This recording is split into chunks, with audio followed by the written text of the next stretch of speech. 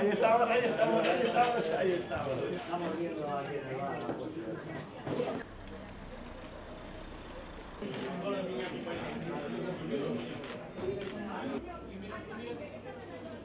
Pois imos facer un brindis aquí en San Marcos na Raxería con Javier, o dono deste local que estamos de celebración, así que un brindis, non, por ese premio gordo. Non sei se ti eres un dos agraciados ou non, no. porque unha cousa é dar o premio e outra é leválo. Sí, tamén, ese é moi distinto, pero tamén moito moi contento tamén de dar o premio, eh, pois moi contento. Non tes nin idea, non, a quen lle podería tocar? Ou non, eu sei que foi este número quitouse máis ben a última semana, esta mesma semana, a última semana do sorteo. Eh, como foron oito décimos, 3.200.000, 200.000, 400.000 por décimo, entón moi contento, moi contento. Tiñades décimos, non non foi de máquina. Sí, sí, ah, todos son todos máquinas, son todos. Ah, eh, son eres tú de máquina aquí. Sí, sí, eh, ah. por exemplo, por eso, todo Galicia repartiuse este premio por por máquina. Sí. Eh, como te enteraches? Porque andamos toda a mañán por aí, como ti, como te enteraches de que tocara aquí na Raxería? Pois, eh, sintino pola televisión, e claro, sonaba ese número, ese número, e como teño apuntado... Hai esas chuletas teño, aí. Teño, pero, teño apuntado o número. Ah. Por eso, eh, mirei, ostra, eh, teño un número. O 3003, por eso son os números que tiña apuntado. É que se, que se che pasou así polo corpo, saber... Oh, tío, un subidón, me dou un subidón, oh, pero bueno. Pero foi eh, moi, eh, moi moi contento, eh, moi contento. Pero digo eu, o traballo non para, eh, aínda que se no, vender aquí no, o gordo, vexo que estades a tope, estades aquí cociñando eh, como se nada. Eso, eh, como nada. Hai que seguir traballando. A, a, a mellor cousa é que tocara que se repartiremos no un número así inteiro, pero claro, foron oito de atún, pero... Bueno, pero está ben, é unha alegría, por, por eso, sí, sí, é unha alegría. Bueno pois eh, boa e a seguir celebrando todo vale. o día, celebrando e, e traballando. E traballando tamén, por eso, as dúas cousas ao mesmo tempo.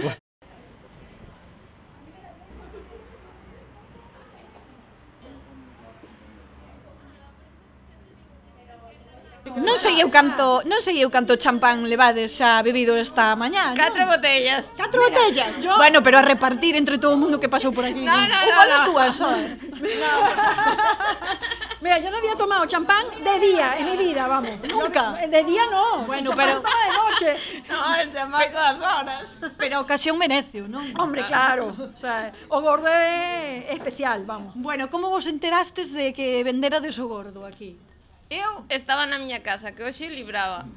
E acababa de chegar a casa, encendín a tele e oín o número e, e oín teu. O número non me sonaba de nada, entonces e din teo e digo, será un misto. E de repente di, empezan a sonar o móvil, meu cuñado que traballa na SER, tocoche a lotería aí, tocoche a lotería.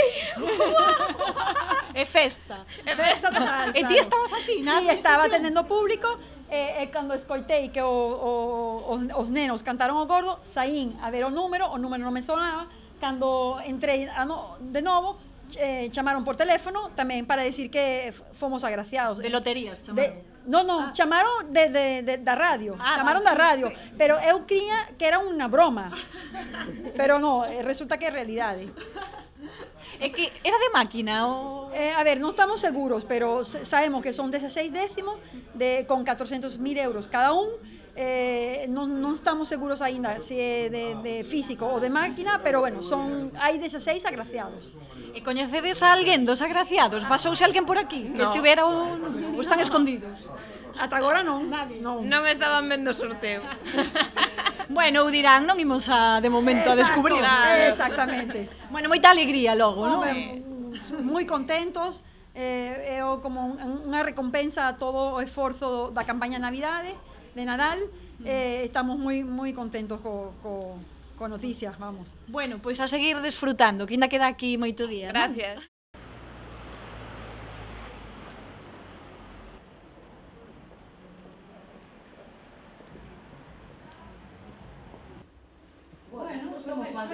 Me llamó un cliente para contármelo. Estábamos atendiendo al público y de repente me llamó un cliente diciendo, Conchi, que acabo de ver que, que habéis, dado un que habéis dado el gordo. Y lógicamente, pues, pues eh, no me lo creía, ¿no? Y llamé a Loterías, porque Loterías llama inmediatamente, y llamé a Loterías y me dijeron que sí, que venían corriendo a traer, eh, bueno, pues para que lo pongamos y tal el premio, pero no sé deciros cuánto hemos dado porque ha sido por terminal. No tengo ni idea de cuánto hemos podido dar. Bueno, pero alegría igual, de Alegría como si lo hubiera dado entero.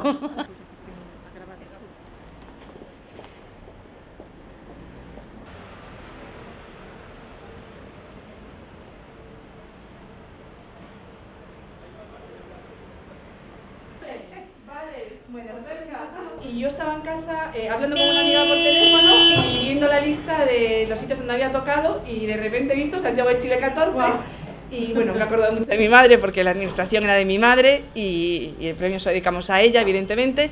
Y, y bueno, eh, no, he llamado aquí a la administración y aún no sabían, no sabían nada.